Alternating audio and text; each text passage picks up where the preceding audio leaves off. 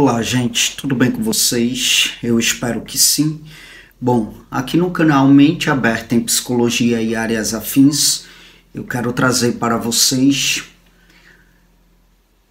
um diálogo sobre uma temática que é muito pertinente, algo que está presente de modo recorrente né, no setting terapêutico.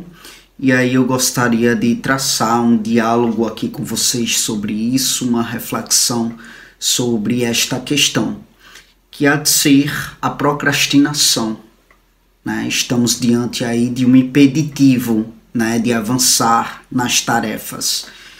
E as queixas, né, é, como produto desta sintomática, são muito pertinentes. E quando eu olho para essa sintomática, eu vejo muito como uma proteção inconsciente, sabe? Pelo menos é o que chega na minha escuta. Eu vejo muito uma proteção inconsciente contra o desconforto, a ansiedade, o medo do fracasso. É sobre muitas vezes o ato de evitar situações difíceis. E aí, com isto, eu não estou dizendo que é causa determinante, né, que é de fato o que de modo absoluto está na fonte da procrastinação. Pode ser várias e várias outras questões. Eu só estou colocando aqui hipóteses, exemplos do que muitas vezes promove essa sintomática. E aí eu percebo que muitas vezes é sobre o ato de evitar situações difíceis. Mas o fato é que estamos diante de uma sintomática, né? Estamos diante de uma sintomática. Portanto, sim, é uma sintomática que protege de fato, mas é um impeditivo quanto às realizações dos objetivos, né? Quanto ao crescimento pessoal, e diante disso, é importante se implicar e muito nessa questão, sabe? É muito importante implicar-se no que é que está por trás do desejo de evitar certas tarefas. Percebo que muitas vezes o que está por trás desse desejo é o medo de falhar. E aí, de novo, não estou colocando isto como sendo fator absoluto. Estou colocando aqui hipóteses, exemplos. Muitas vezes, o que está por trás desse desejo é o medo de falhar, é o medo de não ser perfeito. E aí o sujeito se vê acometido pelo sentimento de uma paralisação. A pessoa realmente fica ali paralisada, né? pela ideia de não conseguir fazer algo bem feito, sabe? Algo perfeito.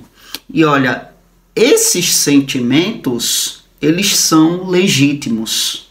Eles são muito legítimos. Mas o que é que acontece? É muito importante implicar no fato de que quando você evita as tarefas, o que acontece é apenas o adiamento do desconforto. Não elimina o desconforto. E diante disso, é muito importante abordar essas tarefas de formas diferentes, de maneiras diferentes, sem que você venha se sentir sobrecarregado. Sei lá, de repente, sabe, dividir as tarefas, né? Você pode dividir em partes menores, em partes mais gerenciáveis. Porque o que muitas vezes acontece é que acumula-se tantas coisas para se fazer, sabe? Que no final de tudo bate aquela ansiedade. Como que eu vou dar conta disso? Como que eu vou organizar isso tudo? Né? Como, eu, como que eu vou colocar isso em ordem? São tantas coisas. E aí é como eu estou dizendo, de repente você dividir essas tarefas né, em partes menores, em partes mais gerenciáveis. Isso aí pode é, tornar-se de fato um processo menos intimidante, um processo mais acessível. E aí é muito importante você sempre estar tá fazendo o exercício reflexivo, né, de que você não precisa de fato ser perfeito.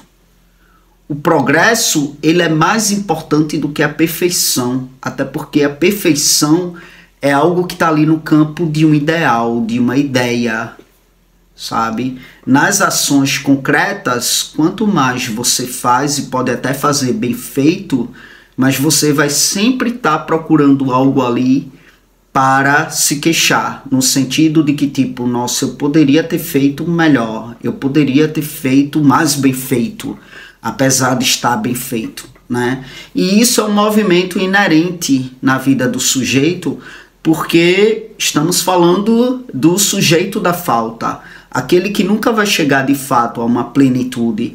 Então é por isso que ele está sempre faltante. Ah, fiz algo muito bem feito, mas sabe? Estou frustrado porque eu poderia ter feito bem melhor, sabe? E aí, diante disso, é importante o exercício reflexivo de que a perfeição é um ideal. Sendo do campo da ideia, é muito difícil você materializar essa perfeição, sabe? E aí estamos diante né, de, de uma autoimplicação, de uma reflexão que pode vir a ser bem viável, sabe? É, estabeleça de fato prazos curtos, né? divida em partes, estabeleça prazo, prazos curtos para cada uma dessas partes, porque aí você vai se mantendo focado, motivado. De repente pode ser algo viável para você, não sei, porque eu não estou aqui com a intenção de passar uma receita de bolo. Estou né? falando sobre esse assunto que é, são comentários e são coisas né, que chegam no setting de modo muito pertinente, entende? Aqui no canal também já me deparei com vídeos aí que tem comentários com relação a isso que são pertinentes. Mas é sobre isso, é sobre você de fato poder discernir uma estratégia que venha a ser viável para você, para que você possa dar conta né, do que de repente está ali acumulado, tarefas acumuladas, né, que você precisa dar conta, demandas e você não está conseguindo. Divida em partes, estabeleça, estabeleça aí né, prazos curtos para que você possa é, ir executando, né, e isso vai ao mesmo tempo te mantendo motivado para as demais execuções. Se você se inclina para querer fazer tudo de uma vez, você não vai conseguir, vai ficar mais ansioso ainda, né? E aí o que acontece é que vai tornando-se cada vez mais uma bola de neve. Então é importante você pensar como isso pode ser feito, né? Pequenos prazos podem ajudar, pequenas partes executadas podem ajudar, porque vai criando ali de fato um senso né, de que você está conseguindo e você não vai ser acometido aí por tanta ansiedade, entende? E nesses momentos é muito importante você reconhecer os seus sentimentos sem julgamentos. Respira fundo, se acolhe Faça algo relaxante por alguns minutos e aí depois você volta ali à tarefa com uma nova perspectiva. Às vezes é sobre apenas começar, mesmo que seja por cinco minutos, sabe? Isso aí já pode ser essencial para você quebrar a barreira inicial, tá? Então, o que eu falo aqui, gente, é sobre trabalhar com a procrastinação, em vez de você ficar ali lutando contra a procrastinação. E isso serve para qualquer outro sintoma. Essa perspectiva pode vir a ser mais saudável, sabe, para você. Uma maneira mesmo mais produtiva de você lidar com os seus próprios sintomas. A sintomática não é um inimigo é um indicador de que algo precisa de atenção. E aí é sobre você trabalhar para entender, entender o que é que está causando a resistência, né? E encontrar aí meios para de fato abrandar ou até mesmo desativar o mecanismo de ação desse sintoma.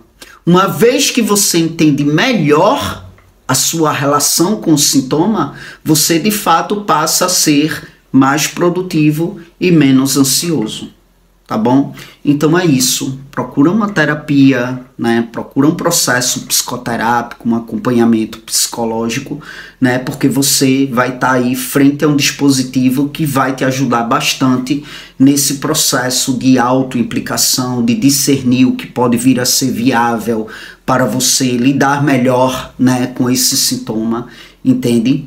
E é isso, gente. Para quem não me conhece, eu sou o Caio Fernando, sou psicólogo, sou especialista em neuropsicologia, tá?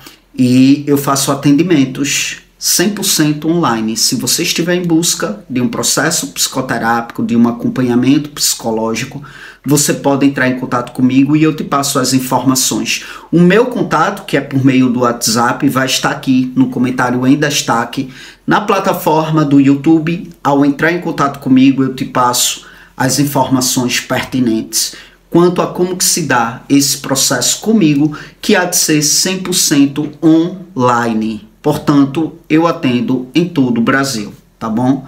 Muito obrigado pela atenção de vocês e até as próximas gravações.